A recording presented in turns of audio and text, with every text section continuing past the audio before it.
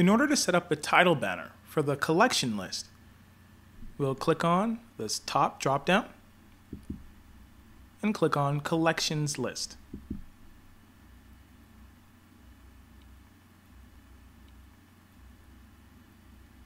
Once we get into the collections list, then we'll click on the title banner. And boom, here we are. So this is our title banner. So the first thing inside of our title banner settings is we can change our layout. So we can change it from the global default to boxed to full width background or just full width. So we have some options in our section layout. We can also change the height. So I can move it up or I can move it down. Right, so we can customize this to whatever fits, right? So to add the spacing on the top and the bottom. So if I move it up, you see that spacing on the bottom and the top goes up. I can also change its positioning from the left to the center or to the right. And the content alignment from the middle to the bottom or the top. I'll bring it back to middle. But we have, we have a lot of ability to move it to whatever fits best for our scenario. All right, we can also scroll down, go to style, and change our title size from medium to big. Wow. To small. It's pretty small. Or base.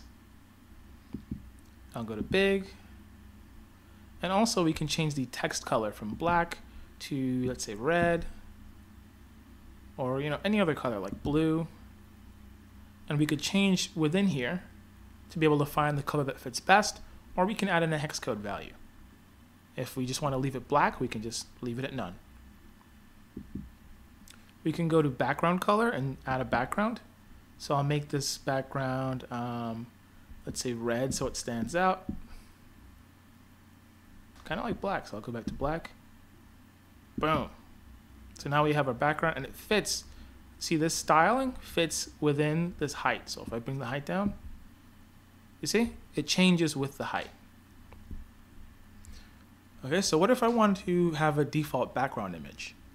I can select one, select an image, um, and add it in. So whatever image I want, I could either upload it or select an option here, like the booster theme logo, and press select.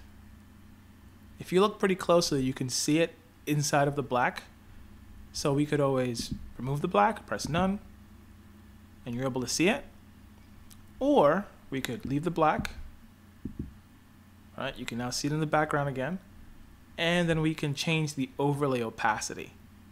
So what that does is if we scroll it up, it puts like a little um, gradient over it, or what it does is it kind of pushes it more into the background so that our text stands out. And I can change the different colors, so I can make it red, for example.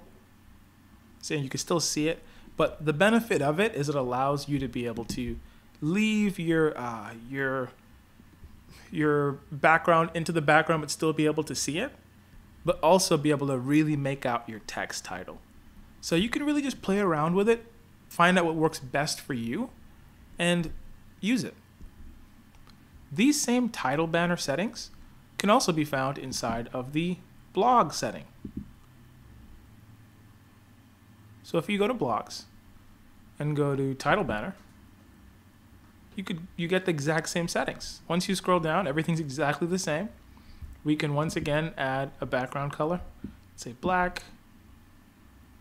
Ooh, and we need to have a text color so we can see our text. So we can add text color. And we could customize and do everything that we want to do. It works in this section as well the exact same way. So I could also, let's say, add in a background image, do the booster theme arrow. Press select. That looks really cool. And then if we want, we could also add a little overlay opacity. Lastly, something to note is if you want to change the name, right, of your title, you can click in here, right? Just click that and it will allow you to be able to change the title. Thank you for watching this video. Please refer to our Help Center for more information.